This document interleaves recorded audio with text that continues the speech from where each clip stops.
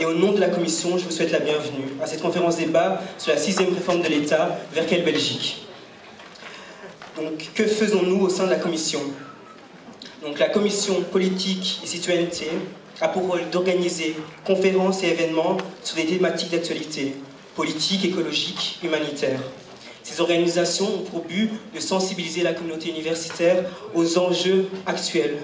Donc, nous avons la chance de pouvoir rencontrer et débattre avec les principaux acteurs du monde sur les sujets qui les interpellent. C'est pour ça que je tiens vraiment à remercier très chaleureusement les politiciens qui sont ici présents. Merci à vous. Au programme cette année, donc, euh, la commission euh, politique et citoyenneté a été très active cette année.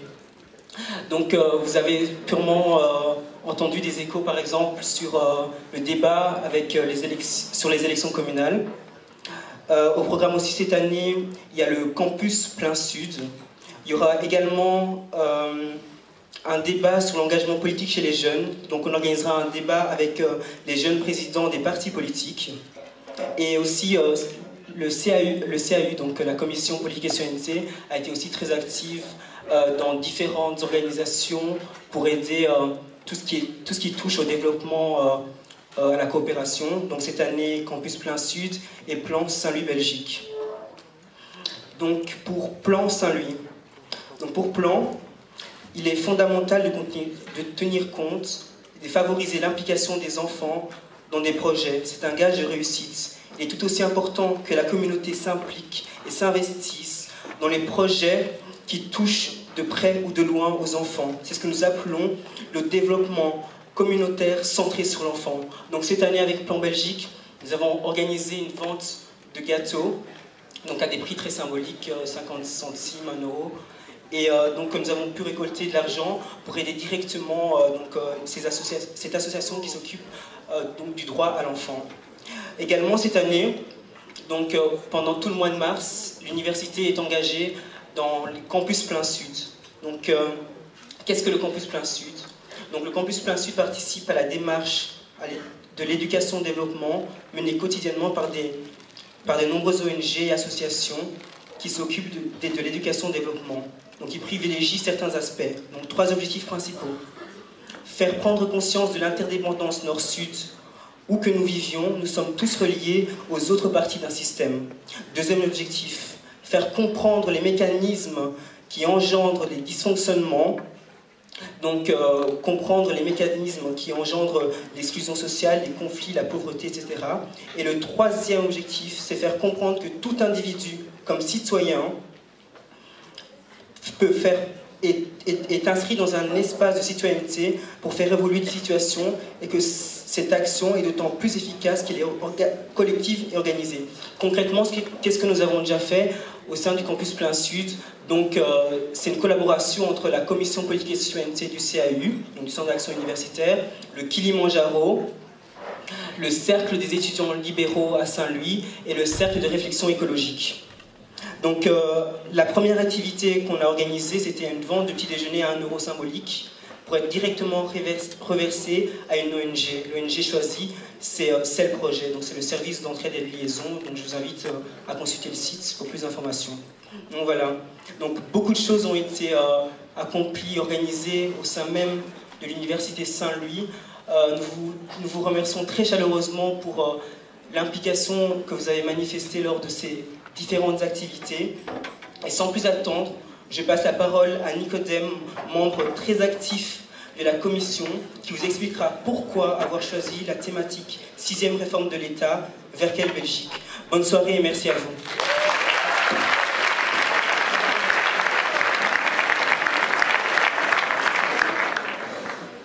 Merci. Alors, flashback, 13 juin 2010, c'était il y a presque trois ans le PS et la NVA sortent grands vainqueurs des élections provoquées à la suite de la démission du gouvernement de l'OpenVLD sur l'épineux dossier BHV.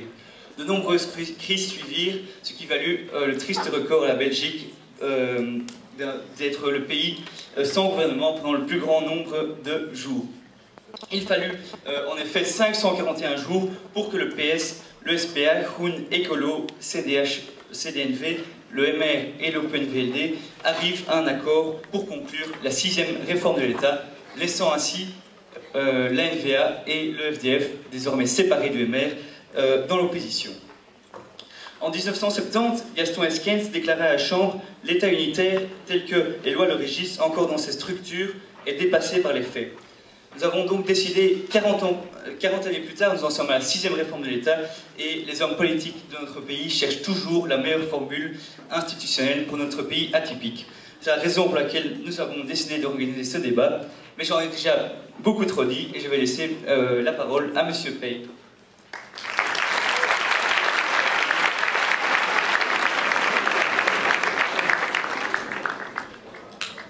Et voilà, merci donc pour ceux qui ne me connaîtraient pas encore, euh, je suis Olivier P, je suis professeur de sciences politiques euh, dans cette euh, université. Comme Nicomède vient de le dire, eh bien, nous avons ici comme objet de discussion la sixième réforme de l'État. Ça veut donc dire qu'il y en a eu cinq au préalable, 1970, 1980, 1988, 89, 92, 93. Celle-là, elle met dans la Constitution le mot État fédéral, et puis 2001. Et alors ici, quelle date? On ne sait pas encore. Pourquoi? Bien parce que euh, le contenu de ce qui est programmé comme devant constituer la sixième réforme de l'État est effectivement dans cet accord papillon, Vlinder Accord euh, en néerlandais, qui a été conclu en octobre 2011 par les partis politiques qui viennent d'être cités. Mais la mise en œuvre de cet accord de principe, on va dire, qui fait quand même une septantaine de pages, euh, se fait de manière progressive. Et donc, pour être euh, schématique, il y a eu autour de la table un accord pour que on conçoive euh, le contenu de cet accord selon deux paquets.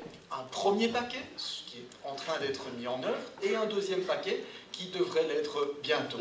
Dans le premier paquet, un premier train a déjà été lancé et est arrivé en gare l'été 2012. Le dossier le plus emblématique y figurait, la réforme de la circonscription électorale et judiciaire de BHV, bruxelles Vilvoorde, mais également, par exemple, un euh, refinancement de la région de Bruxelles-Capitale à hauteur d'un petit 500 millions de manière progressive y figurait également, ou la communauté euh, métropolitaine bruxelloise euh, également, ou euh, un mécanisme spécifique par rapport à la non-nomination possible des bourgmestres dans les six communes à faciliter de la périphérie bruxelloise. Ça, c'est un premier train de ce premier paquet. Dans ce premier paquet, vous avez un deuxième train qui concerne par exemple la réforme du Sénat, où dans cette Assemblée ne siégeront plus que des élus indirects, ce qui n'est pas le cas pour l'instant, ou bien l'attribution de l'autonomie constitutive aux entités fédérées qui ne l'ont pas encore, région Bruxelles-Capitale, communauté germanophone. On est en train de travailler sur ces textes, ces textes sont envoyés au Conseil d'État, etc. Donc le train euh, est déjà sur les rails. À côté de ça, il y a le deuxième paquet. Généralement, on dit c'est le plus substantiel. Ce deuxième paquet, on est en train d'essayer de, le lancer euh, pour ce qui est des acteurs qui ont conclu cet accord euh, papillon. Dans ce deuxième paquet, deux grands volets, transfert des compétences, réforme de la loi de financement. Transfert des compétences, ça veut dire faire passer toute une série de compétences de l'État fédéral aux entités fédérées, régions ou communautés, cela dépend, essentiellement en matière de sécurité sociale, toute la branche des allocations familiales, euh, des compétences en matière de soins de santé, des compétences en matière euh, d'outils euh, de gestion du marché de l'emploi, comme on, appelle cela, par exemple contrôle de disponibilité des chômeurs, en matière de titres-services, gestion des réductions de charges sociales sur les groupes cibles, etc., etc. Des réformes aussi dans le domaine judiciaire, sécurité routière, politique scientifique, je ne suis pas exhaustif. Deuxième volet de ce deuxième paquet, c'est donc ce qui concerne le financement, beaucoup plus euh, technique, avec là aussi quelques euh, thèmes particuliers. Un, quels moyens financiers vont accompagner les compétences thématiques dont je viens de parler donc là, il y a toute une série d'éléments qui ont déjà été euh, conclus dans l'accord papillon. Deux, une augmentation de ce qu'on appelle l'autonomie fiscale à hauteur de 10 milliards pour les régions. Trois, la fin du mécanisme de solidarité entre les régions programmé sur une période 10 plus 10. Donc, dans 20 ans, la fin. Voilà, j'ai vraiment essayé d'être très bref, parce qu'effectivement, c'est une matière sur laquelle on peut tenir 1h30 sans problème. L'idée étant que si parmi vous, il y avait des étudiants qui n'étaient passés ni par le cours d'institution politique de la Belgique, ni par celui de droit public, eh bien, et qui n'auraient pas lu du tout la presse pendant euh, les 600 euh, derniers euh, jours, eh bien, voilà, au moins, ils savent un peu de quoi on va parler, avec les invités que les étudiants ont pris l'initiative de contacter. Et je vais commencer par ma gauche, avec Monsieur Lieven de Roek, qui est donc le président de la NVA bruxelloise. Euh, qui est également collaborateur parlementaire du euh, député euh, de la NVA au Parlement de la région de Bruxelles-Capitale. Nous avons juste ici à ma gauche Madame Brigitte Krauels qui vient du CDNV, qui est ministre de l'exécutif de la région de Bruxelles-Capitale. Ensuite, nous passons à ma droite avec Francis Delperret, qui est sénateur CDH et professeur de droit constitutionnel bien connu par ailleurs. Et enfin, euh, nous avons donc Olivier Minguin, qui est député fédéral et président des FDF, également bourgmestre de sa commune à Woluwe-Saint-Lambert. Ça a déjà été fait, mais je voudrais euh, déjà adresser un remerciement collectif à ces quatre personnes, et plus particulièrement à, aux collègues euh, néerlandophones qui ont accepté de venir débattre ici avec vous dans un contexte massivement francophone et par rapport à euh, des personnalités politiques francophones et de le faire en français. Cela n'arrive pas si souvent et donc je pense que ça mérite déjà dès maintenant un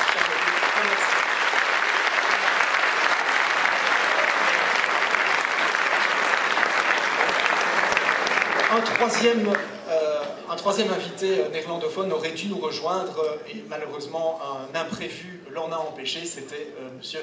Herman de Croo qui, qui a été ministre dans beaucoup de gouvernements, qui vient du VLD et qui a été également président du Sénat.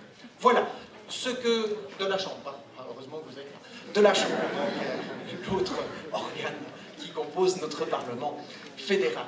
Donc, euh, nous sommes ici jusqu'à 20h30 et ce qui est proposé, c'est qu'au fond, de prendre cette question de la sixième réforme de l'État par les deux bouts. Alors, donc un bout pour un thème et un deuxième bout pour l'autre. C'est quoi les deux bouts? Eh Bien, le premier bout, c'est que réformer. Donc, qu'est-ce que on veut transférer du fédéral vers quelles entités? Lesquelles? Est-ce que c'est les régions, c'est les communautés Lesquelles? Dans quelles limite territoriale, avec une exclusivité ou non de compétences pour cette entité sur son ressort territorial, avec quels moyens financiers également euh, qui accompagnent ces transferts de compétences. Donc, c'est qu'est-ce qu'on va transférer du fédéral vers les entités fédérées? C'est le premier temps de notre débat. Et puis le deuxième temps du débat, c'est l'autre bout, qu'est-ce qu'on va garder au fédéral? Et donc, quel est le projet qui euh, est euh, associé à ce fédéral dont on souhaite euh, le délester euh, en petite ou en grande mesure d'une série de compétences et de moyens. Et donc, est-ce qu'on va y laisser l'armée, la justice? Est-ce qu'on garde la monarchie? Est-ce qu'on va établir une circonscription électorale fédérale? Qu'est-ce qu'on fait avec euh, la protection sociale, la sécurité sociale, dont on a parlé tout à l'heure? Voilà toute une série d'angles d'attaque pour que chacun chacune des personnalités politiques ici présentes à la table puisse se situer et situer le projet de son parti de ce point de vue-là. Voilà, sans plus attendre, je vais maintenant donner la parole, si vous êtes euh, d'accord, euh, à euh, Monsieur De Rook pour nous présenter donc le projet de son parti qu'on connaît sans doute moins du côté francophone et qui est quand même, rappelons-le, le premier parti en termes de voix et de sièges à la Chambre, donc au niveau national belge. Voilà. Merci bien. Bonsoir à tous et à toutes. Euh, je tiens à vous remercier, enfin remercier les organisateurs de m'avoir demandé d'être ici. Donc je suis très content d'être ici. Et je tiens à vous remercier d'être venu aussi pour, pour ce débat. Euh, en fait, simplement parce qu'il y a dix ans, moi j'étais là, pas, pas ici. C'est donc un de nos premiers débats en fait. Et quand même immédiatement en français, mais c'est pas le problème. Euh, Vous étiez dans quelle université? Vous étiez dans Louvain. mais parce que je ne pense pas que tout le monde me connaîtra, je suis donc Liv président du NVA à Bruxelles depuis 2010. J'habite ici à Bruxelles depuis 5 ans, au début rue Saint-Géry, maintenant place Fontanas, donc vraiment centre-ville. Et je suis membre du parti depuis 10 ans, donc euh, vraiment le début du parti, 2002, 2001, je ne sais plus. Euh, parce qu'à ce moment-là, comme étudiant à Louvain, j'avais déjà, déjà qu'il y avait un problème démocratique en Belgique et aussi un problème d'efficacité. et j'ai dit ça parce que ça, enfin, ça me donne la, possibilité de répondre à la question comment réformer ou quelle réforme. Mais la question même plus intéressante, c'est pourquoi réformer? Euh, Je suis aussi philosophe et on m'a dit que les enfants et les philosophes, on demande toujours pourquoi. Donc pourquoi la réforme? Je pense qu'il y a quatre raisons. En fait, il y a, comme je disais, le problème de démocratie. J'ai toujours eu l'impression qu'il y a un problème euh, fondamental avec la démocratie euh, belge, en ce sens qu'à côté a, la dernière année, il y a un très fort sentiment qu'il y a un décalage ou un écart entre les résultats électoraux et la politique euh, après. Euh, pas bon. Euh, d'autre côté, je peux bien m'imaginer que si je, suis, si je serais socialiste francophone, je ne voulais pas être géré par, par des libéraux flamands non plus. Donc il y a un petit problème démocrate là, et c'est comme Karel de Gucht l'a dit, c'est une conférence diplomatique permanente. Donc il y a des élections qui en fait sont séparées dans, dans deux démocraties, disons comme ça. Après, il, y a les élections, après il faut négocier. C'est donc très difficile pour trouver un accord. Donc ça sera pas efficace, mais aussi pas très démocrate, selon moi. Deuxièmement, évidemment, il y avait déjà un processus de, réforme d'État, mais le processus a fait qu'il y a vraiment fragmentation des compétences maintenant. Donc il y a des compétences comme le marché du travail, soins de santé, qui sont déjà au niveau fédéral, de parties au niveau euh, des communautés ou de parties au niveau région. Donc il y a une fragmentation des compétences à ce moment-ci euh, qui n'est pas très bon, qui ne, qui ne rend pas le système très efficace. Et je pense que la sixième réforme d'État ne va pas résoudre ça. Enfin, par contre, je pense que parce qu'il y a des compétences qui sont transférées, mais beaucoup, même, je vais, je vais avouer hein, que c'est bon qu'il y a des compétences qui sont transférées, mais beaucoup de compétences sont transférées, sauf, et après ça, ça commence. Il y a beaucoup d'exceptions. En plus, il y a beaucoup de compétences qui seront transférées seulement s'il y a un accord de, de coopération. Euh, bah, moi, je n'ai pas compté, mais le centre d'études de mon parti l'a compté. Je pense qu'on a besoin de 24 euh, accord de coopération avant qu'on puisse transférer des compétences. Et justement, par exemple, il y avait aussi, on voulait transférer le jardin botanique de Metz.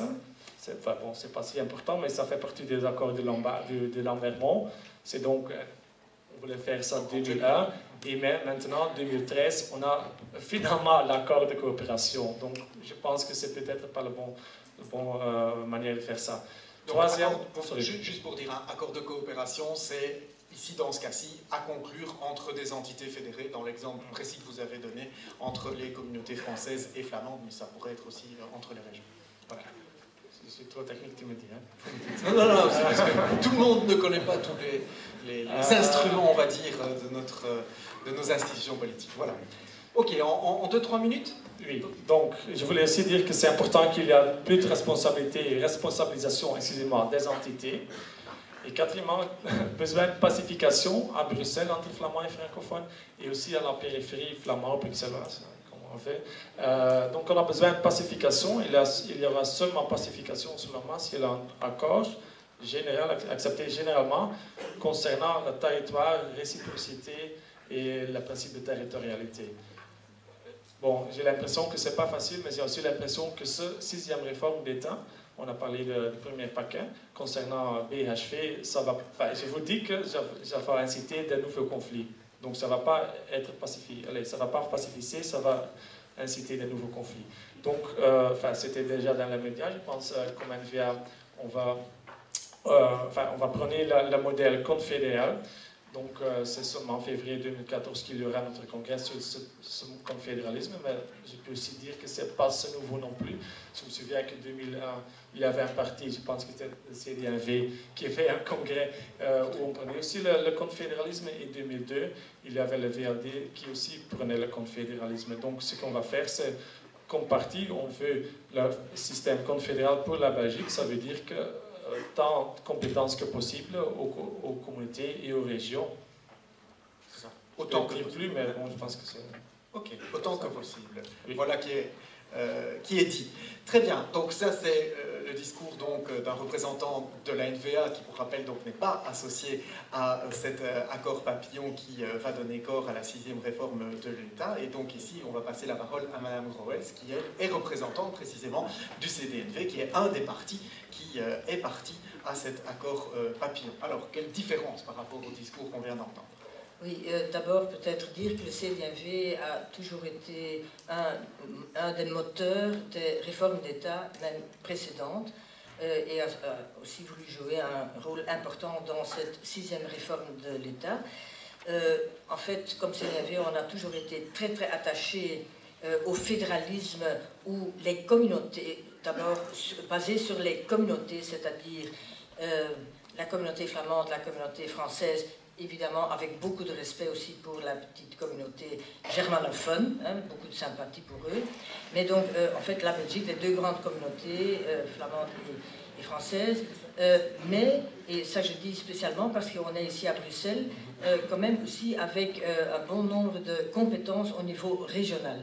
Donc, en fait, le CDAV a aussi accepté de donner euh, des compétences à la région de Bruxelles-Capitale, qui est une région avec ses propres compétences. Les Bruxellois ont autant euh, euh, de droits à exercer aussi leur politique pour eux que des Anversois ou des Liégeois, etc. Mais les compétences de la région de Bruxelles-Capitale sont les compétences plutôt liées à l'économie, au territoire, etc.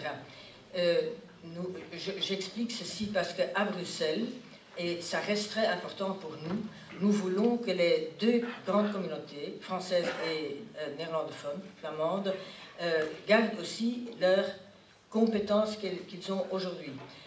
donc au niveau de la culture, de, l'enseignement, de, la politique sociale. on croit que c'est très très important que ça reste. Et donc avec cela, je veux dire et ça euh, nous diffère sans doute de la NVA, on ne veut pas que Bruxelles est euh, euh, co-gestionné par les, par les deux communautés, point c'est tout, non. oui, les deux communautés ont une compétence à Bruxelles dans leur matière, mais pour le reste, la région de Bruxelles-Capitale est une région à part entière pour ses compétences régionales. Et on est très contente que, maintenant, en fait, on fait un énorme pas parce que euh, le CDV a toujours cru dans l'importance de donner plus euh, de compétences aux entités fédérées. On est contente que aussi Bruxelles aura maintenant plus de compétences à travers cette sixième réforme de l'État.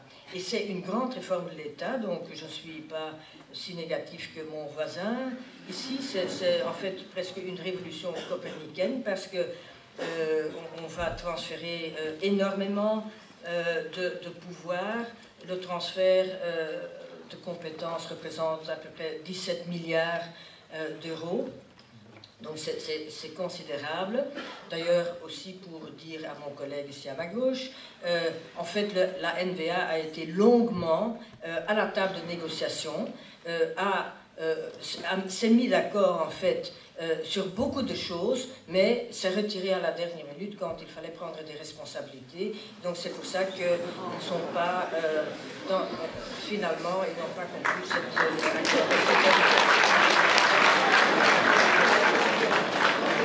Alors, on n'a pas besoin d'aller chez vous pour que déjà ici ça remue. Donc, ce que je propose, c'est que de toute manière, on continue le tour de table et puis que, évidemment, chacun qui s'est vu un petit peu euh, sollicité de se justifier davantage, eh bien, le fasse à son tour de parole suivant.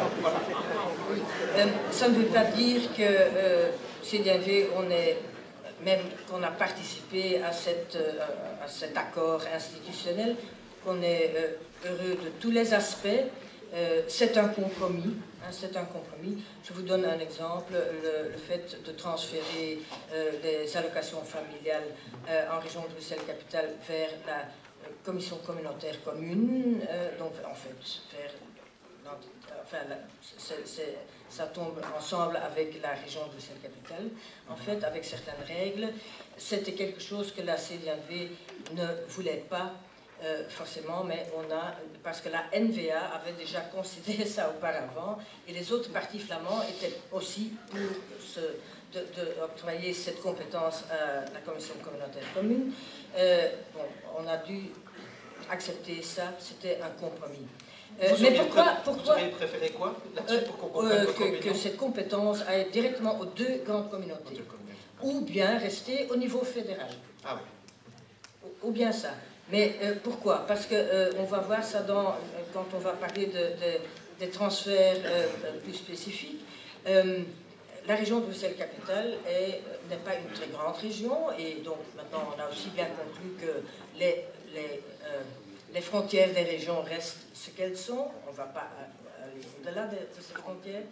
Mais donc pour les, allocations familiales, euh, la base, la, enfin, la, base euh, euh, financière de la région n'est pas très grande. et donc ça aurait été mieux si, pour les allocations familiales, on, pourrait travailler avec un pot d'argent plus grand, hein, plus solide, ou bien au niveau des communautés, ou bien au niveau fédéral. Euh, maintenant, si cette compétence tombe uniquement euh, à la région de Bruxelles-Capitale, euh, ça c'est un souci que nous avons. Est-ce que la région de Bruxelles-Capitale sera à même de continuer à financer certaines politiques dans le domaine social? Pour les compétences régionales, je suis très heureuse que Bruxelles aura aussi plus de compétences qu'auparavant. D'accord, très bien. On va maintenant entendre les points de vue des personnalités politiques francophones. Francis Delperré du CDH d'abord. Deux choses. Ce que je préconise et ce que je refuse. Ce que je préconise, c'est d'abord un État. Un État. Un tel, pour être clair, un seul État. La Belgique. L'État belge. Un État qui est et qui reste fédéral. sachant évidemment qu'à l'étage fédéral, depuis 1970, tout se fait à deux. C'est des ministres, sept ministres francophones, sept ministres flamands. Chambre et Sénat, deux groupes linguistiques. Cour constitutionnelle, 12 juges, 6, 6. Haute fonction publique, haute administration, 50, 50, et ainsi de suite. Je ne vois pas pourquoi ou comment il est possible de remettre en cause ce premier équilibre un État, un État fédéral, sachant que l'État fédéral se fait à deux, un État fédéral asymétrique. Je constate que dès aujourd'hui, au nord, communautés et régions sont fusionnées. Ce n'est pas le cas au sud du pays. Les institutions ne sont donc déjà plus composées de la même manière. Demain, peut-être, les compétences ne seront pas les mêmes. Je prends l'exemple si on me dit qu'au nord du pays, on veut gérer beaucoup plus la sécurité sociale, soit, ça ne veut pas dire pour autant que les Bruxellois et les Wallons doivent adopter des régimes différents et ils peuvent très bien garder un système qui reste cohérent entre eux. Dernier élément, toujours sur le plan institutionnel, c'est que je vois un État qui va être fondé essentiellement sur la base des trois régions, mais ce que je souhaite, encore une fois, c'est que, et la région bruxelloise d'un côté, et la région wallonne d'autre part, fassent, on a parlé d'accords de coopération, mais pour moi, ce ne sont pas des accords de coopération qui se font après, lorsque ces régions sont devenues autonomes, non, des accords de coopération qui sont établis avant, avec une charte qui soit une charte commune à Bruxelles et à la, et Wallonie, notamment sur le terrain de la protection des droits des droits économiques, des droits sociaux et des droits culturels. Ce que je préconise. Ce que je refuse. Ah oui, là, un, je refuse ce que euh, Brigitte Groels refuse aussi, c'est-à-dire une Belgique à deux. Wallonie, Flandre et Bruxelles, Bruxelles euh, co-gérée par les deux autres communautés. Il n'est pas pensable, il n'est pas possible d'anesthésier politiquement un million de personnes. Bruxelles a droit à une existence politique. Bruxelles a droit à l'exercice de ses compétences. Bruxelles a droit à une expression démocratique qui est la sienne. Deux, ce que je refuse aussi, j'en demande pardon avec Dumont peut-être, qui être, ne sera pas surpris de ma réflexion, mais ce que je refuse, c'est le fédéralisme à quatre. Flandre, Wallonie, Bruxelles et la communauté germanophone. C'est tout de même donner beaucoup de poids à 70 000 habitants, et surtout, surtout, ce que les Bruxellois doivent savoir, c'est que quand on parle d'un fédéralisme à quatre dans le discours politique, c'est en réalité un fédéralisme à deux, deux grandes communautés et puis deux deux petites, deux petites entités euh, qu'on va, faire fonctionner, qu'on va euh, calmer, qu'on va euh, éventuellement encourager. Trois, ce que je refuse aussi, faut-il vous le dire, c'est le confédéralisme qui n'est bien entendu que le paravent du séparatisme. Mais à ce moment-là, on est dans une toute autre logique et dans une toute autre configuration institutionnelle. On n'est plus dans le cadre de l'État belge, on est dans l'après-Belgique, ce qui pour moi est une manière de dire que ou bien il y a un plan fédéral, ou bien il n'y a pas de plan B, comme on dit parfois, un plan B qui serait une autre forme d'organisation de l'État. Voilà, je crois que j'ai déclaré ce que je préconise et ce que je refuse. Et en cinq minutes, c'est parfait. Donc, euh, Monsieur Minga, le dernier mot pour ce premier tour vous appartient. Nous sommes des fédéralistes. Fédérer, c'est unir. Voilà. C'est vrai au niveau européen. Alors, je réponds tout de suite déjà à un argument c'est pas parce qu'il y a des divergences idéologiques qu'il y a autant de démocratie qu'il y a d'opinion. Et le discours que j'entends souvent de la part de M. de Wever, il y a deux démocraties, est profondément orthodoxe. Avec cette logique-là, la construction de l'Europe est impossible. Si à chaque fois il y a des divergences d'opinion constatées sur la base d'une population déterminée par rapport à une autre, ça justifie des divergences à ce point approfondie qu'il faut à chaque fois se séparer, ben, la construction de l'Europe ne serait jamais faite. Et donc, à ce moment-là, on peut morceler à l'infini l'Europe. C'est tout le contraire de ce à quoi nous aspirons. C'est d'ailleurs le grand débat. L'avenir de l'Europe est le véritable débat. Mais enfin, c'est un autre débat. Peut-être que nous aurons le plaisir de nous retrouver en une autre circonstance. Deux, cette réforme de l'État, et on la découvre de plus en plus, un, n'a pas stabilisé l'avenir institutionnel du pays, je me souviens de certains négociateurs qui avaient dit on est parti au moins pour 30 ans sans nouvelle négociation institutionnelle. Tout le monde est déjà avec l'inconnu de 2014. Que se passera-t-il en 2014 Et tout le monde se dit qu'en 2014, nous serons peut-être confrontés à la demande d'une septième réforme de l'État. On est très loin d'avoir stabilisé l'avenir du pays. La meilleure preuve, c'est que la NVA ne se porte jamais aussi bien que depuis qu'il y a eu cette réforme de l'État. Trois, nous avons, nous avons l'inconnu de l'avenir de Bruxelles. Alors oui, je suis évidemment, mon parti a été le premier à revendiquer l'existence de Bruxelles comme région à part entière, mais la région de Bruxelles, limitée aux 19 communes, n'est pas socio-économiquement viable. Voilà. Et tous ceux qui veulent garder ce carcan territorial peuvent alors dire qu'il y aura un problème de financement de Bruxelles qui sera récurrent. Je fais référence à des études récentes, notamment des facultés universitaires Notre-Dame de la Paix de Namur qui démontre que le problème du financement de Bruxelles est loin d'être acquis suite à cette réforme de l'État et que nous allons être confrontés à des problèmes récurrents. Pourquoi? Parce qu'il y a un problème de capacité contributive. Les populations les plus favorisées n'étant pas nécessairement concentrées dans les 19 communes, le phénomène de l'exode et de la périurbanisation, et ça n'a rien à voir avec une conquête culturelle, linguistique, j'ai jamais demandé à des francophones de prendre des drapeaux et d'aller le planter je ne sais où en périphérie en disant maintenant ce territoire est à nous. La vérité, c'est que toutes les villes se développent et s'organisent institutionnellement pour que la périphérie contribue aussi au développement des services qu'offrent les grandes villes euh, centrales. Et ce phénomène-là, Bruxelles n'en bénéficie pas, avec tous les problèmes qui en résultent pour la mobilité, pour le développement d'un certain nombre de services. Donc le débat des frontières de Bruxelles, que ça plaise ou que ça ne plaise pas à certains, est un débat vital pour l'avenir de cette région et se reposera d'une manière ou d'une autre, sous les formes à définir, mais se reposera. Ça, je dirais très brièvement pour l'analyse de ce qui se passe. Pour l'avenir, si, comme on peut le craindre, après 2014, d'aucuns viennent toujours avec la révolution copernicienne, c'est-à-dire le confédéralisme. C'est une grande tromperie, personne ne le définit. Juridiquement, le professeur Delpéré nous démontrera qu'il faudrait d'abord se séparer et puis voir ce que l'on ferait ensemble.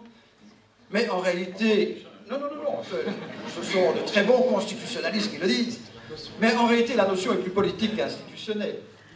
Et j'ai pour habitude de dire que c'est comment avoir les avantages du séparatisme sans devoir en subir les inconvénients. C'est ça le confédéralisme voulu par certains au nord du pays.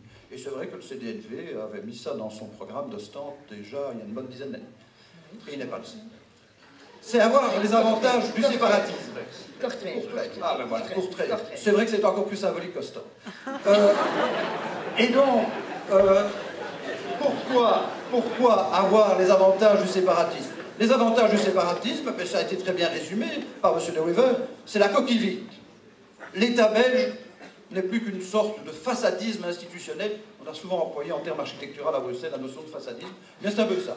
On garde une façade commune pour dire. Mais derrière, il n'y a plus grand-chose en commun. Ça, c'est leur plus large autonomie, poussée à l'extrême. C'est Chris Peters qui a dit un jour, à qui on lui pose la question, c'est quoi votre confédéralisme? Il a dit, il reste trois choses en commun. Ça m'a toujours un peu étonné. L'armée, bon, bah, est quand même de plus en plus intégrée à des forces internationales ou européennes, on peut l'espérer.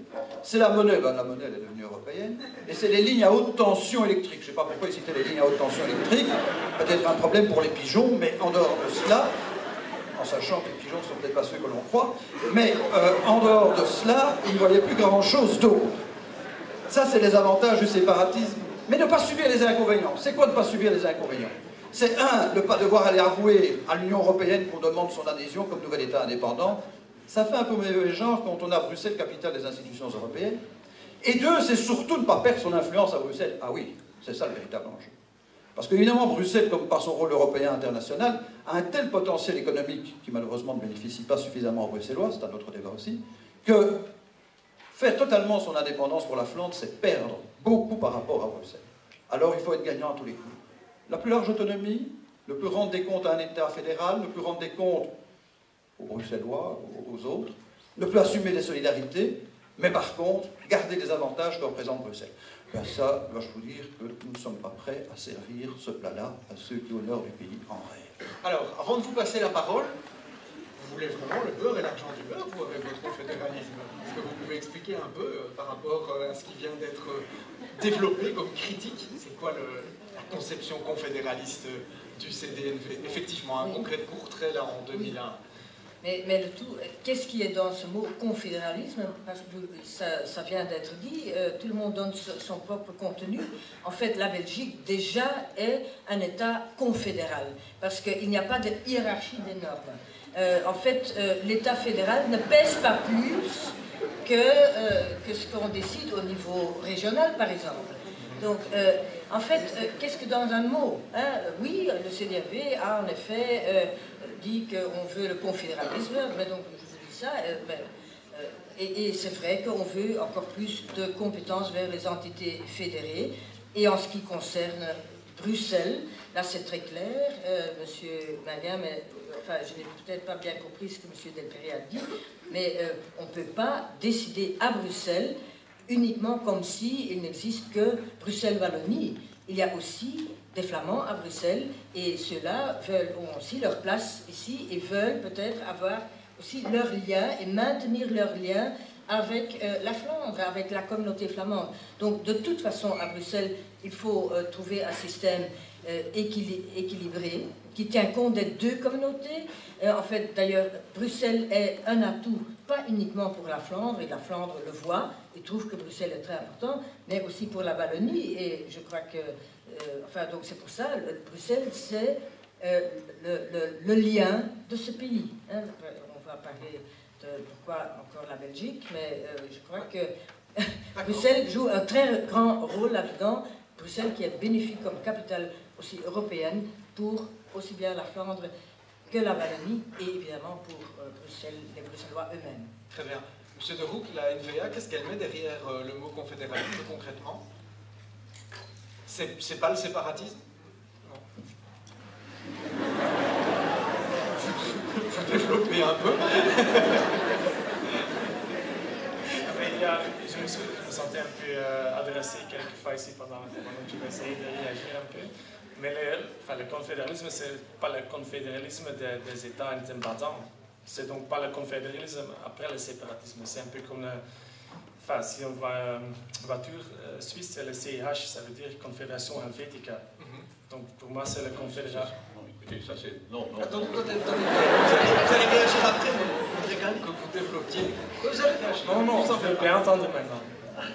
Dites. Oui, le CH, Confédération Helvétique. Mm -hmm. Pourquoi ces mots-là, pourquoi ces lettres-là? Par souvenir historique, dépassé depuis 1848 où c'était une confédération de cantons. Depuis lors, c'est devenu un État fédéral. Prenez la Constitution suisse, telle qu'elle est rédigée, telle qu'elle a été renumérotée, comme nous, telle qu'elle a été réécrite en l'an 2000, première phrase, la Suisse est un État fédéral.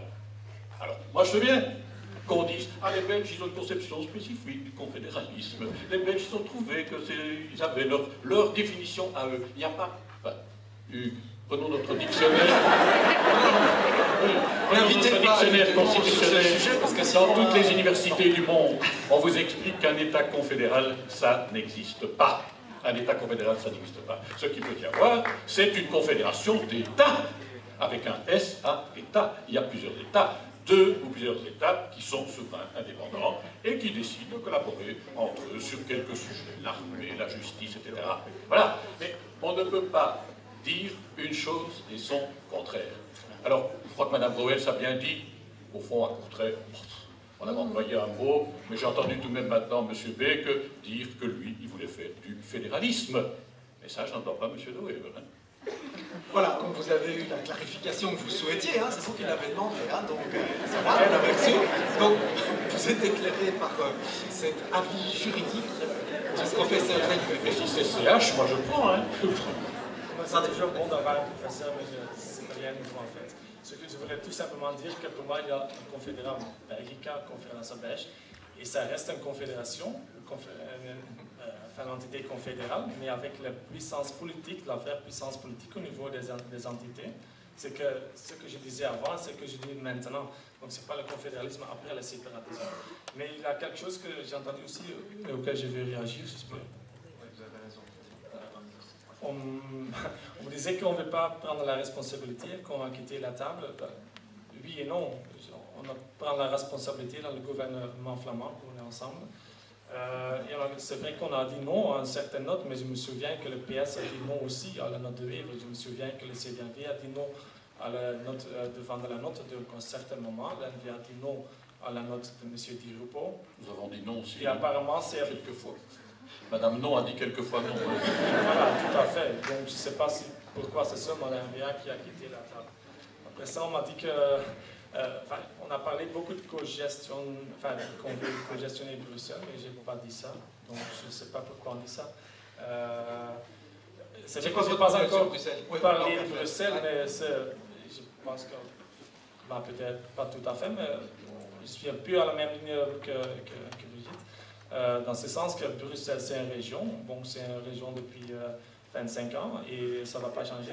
Je suis enfin, on est réaliste, hein, Bruxelles, c'est une région, mais ce n'est pas la question de... Enfin, c'est vrai que euh, en voyant l'email, on me demandait c'est un fédéralisme ou un confédéralisme à 2, à 3, à 4. Pour moi, c'est 2 plus 2. Donc, ça veut dire qu'il y a trois grandes régions.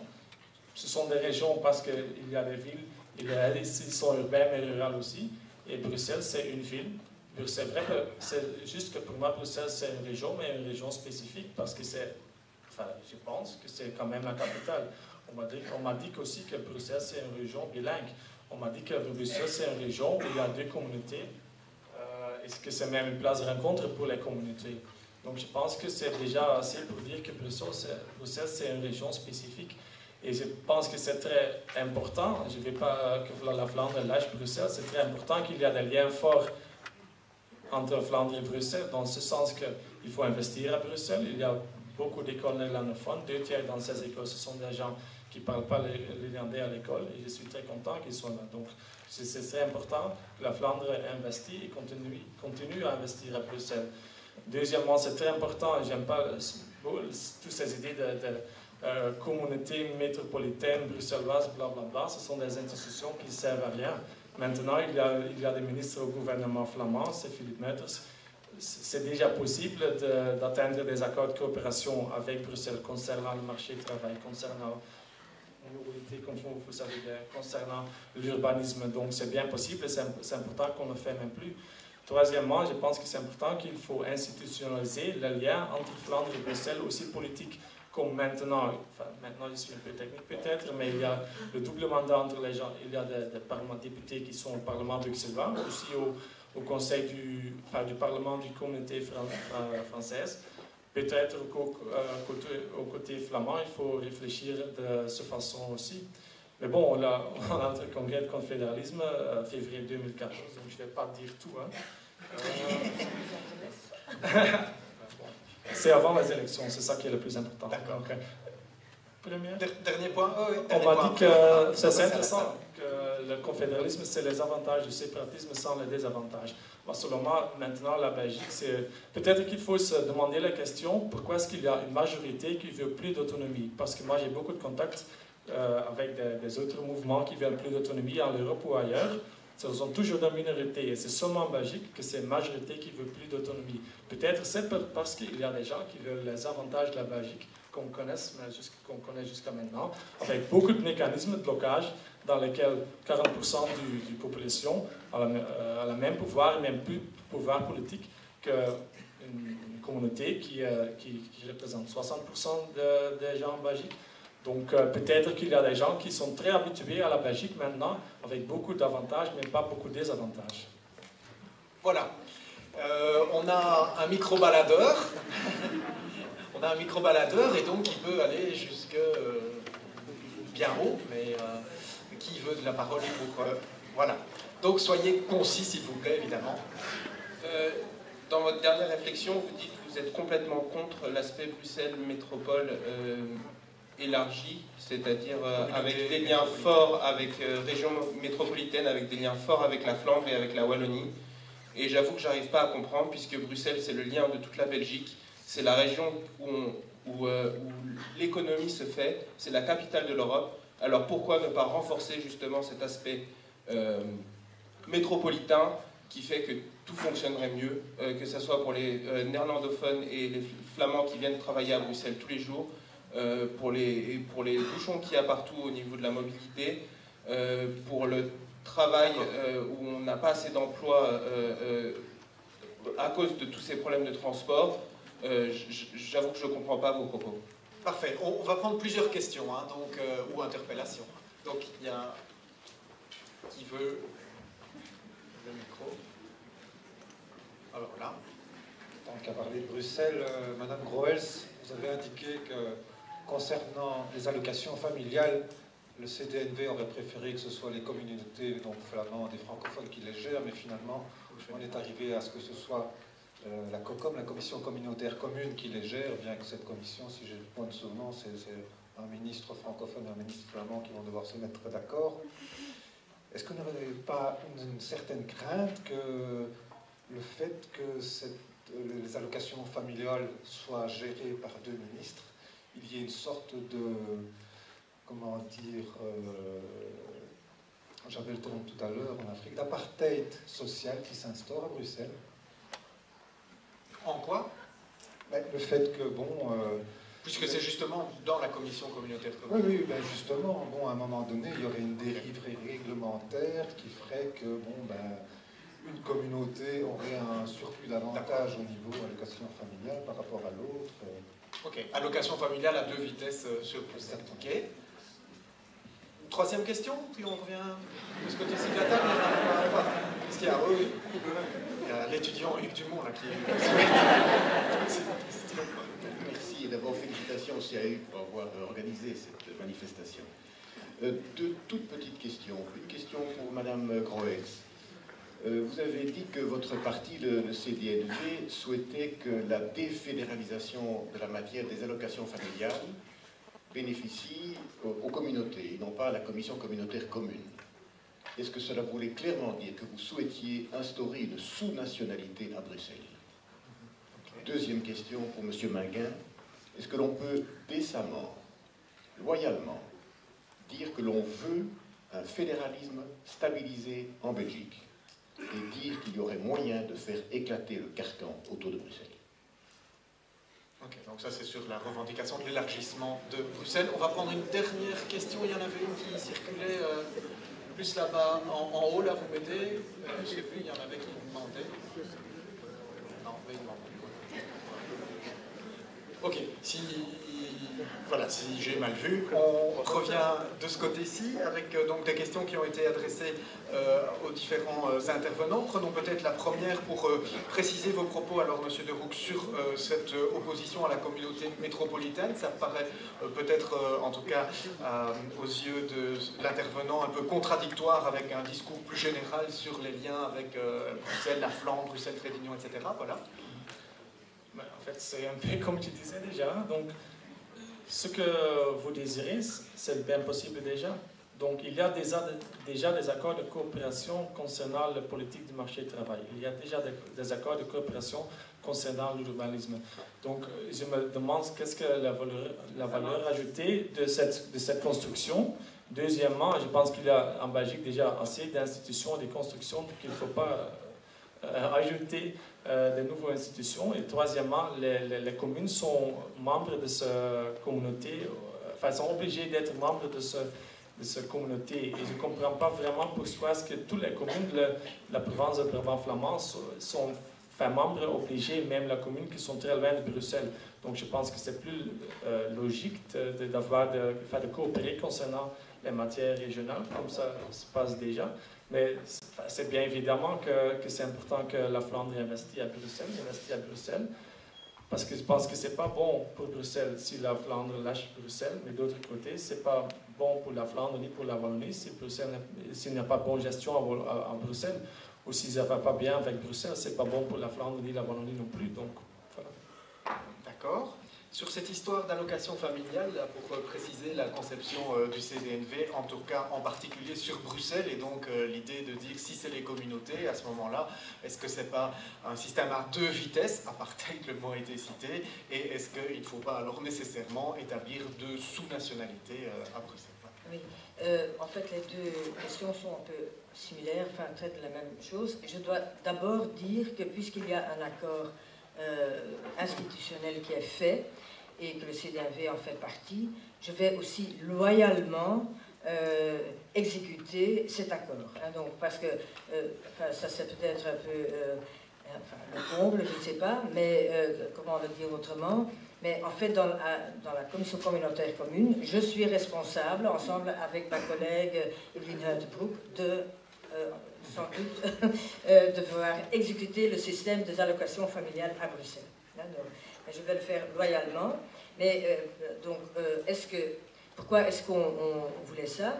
Euh, C'était donc notre idée de, lier ça plutôt aux communautés, parce que en fait, les allocations familiales peuvent aussi être un, instrument très important dans l'entièreté d'une politique familiale.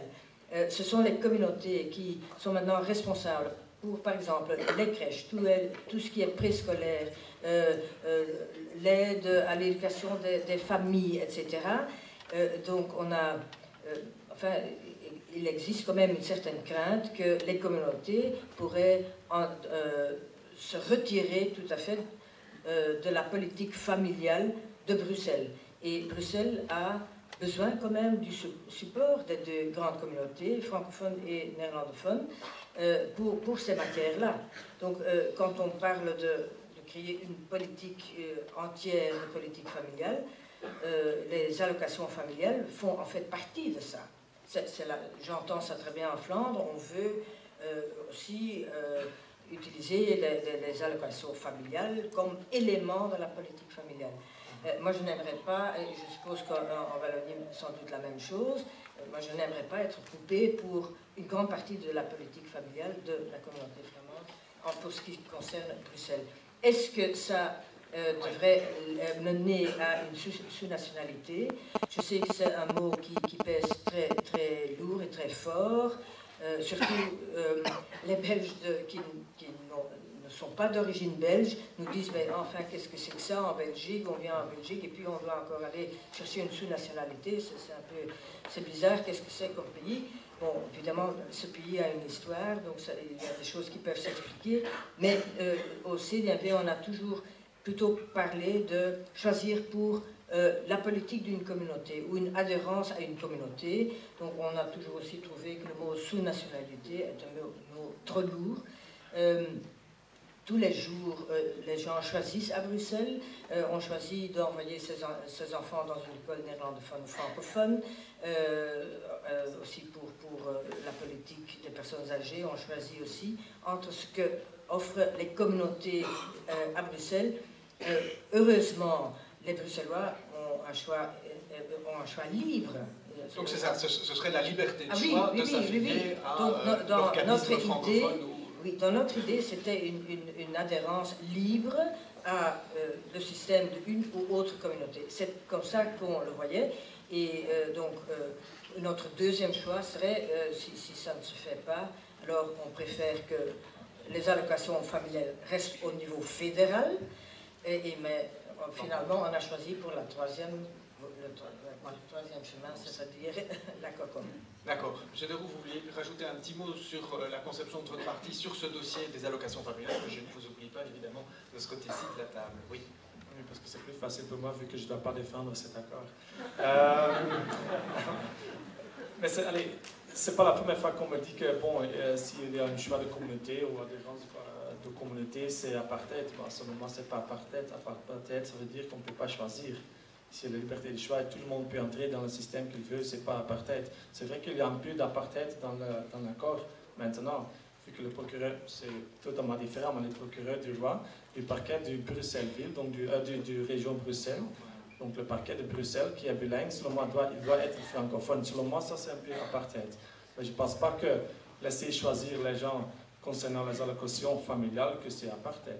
Mais c'est vrai qu'il y a maintenant une dynamique qui n'est pas nouveau, et qui dit que tout va aux régions ou à COCOM. Et c'est une dynamique qui affaiblit les liens entre Bruxelles et Wallonie et la Flandre. Je pense que Bruxelles ne peut pas survivre comme il. Je ne pense pas que c'est bon pour Bruxelles s'il n'y a, plus de lien avec, euh, avec Flandre ou avec la Wallonie. D'accord. Ça, c'est plutôt général. Parfait.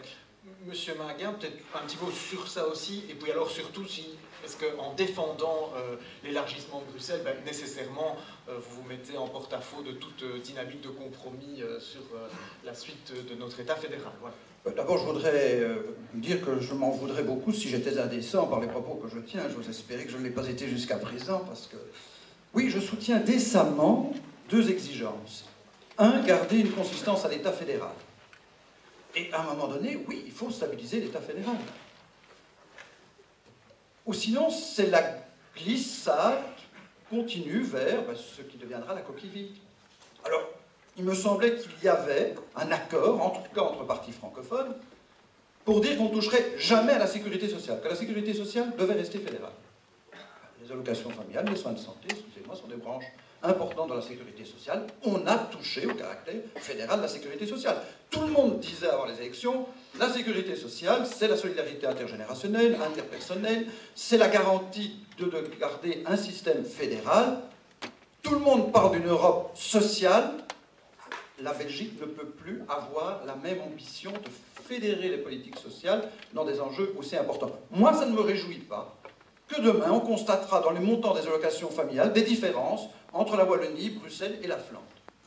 Je ne vois pas ce qui justifie que l'on ait des différences de montant des allocations familiales, avec sans doute des contraintes budgétaires qui seront très différentes d'une région à une autre, et donc des critères d'octroi des allocations familiales qui seront très différents d'une région à une autre, avec des inconnus pour savoir, par exemple, comment on financera les allocations familiales au-delà de l'âge de 18 ans, puisque l'on sait que dans le calcul budgétaire, les allocations familiales ne sont pas reprise au-delà de 18 ans. Dans l'accord politique, on dit clairement que les masses budgétaires accompagneront les euh, allocations familiales jusqu'à l'âge de 18 ans, et on ne parle pas non plus des régimes spéciaux, ainsi de suite.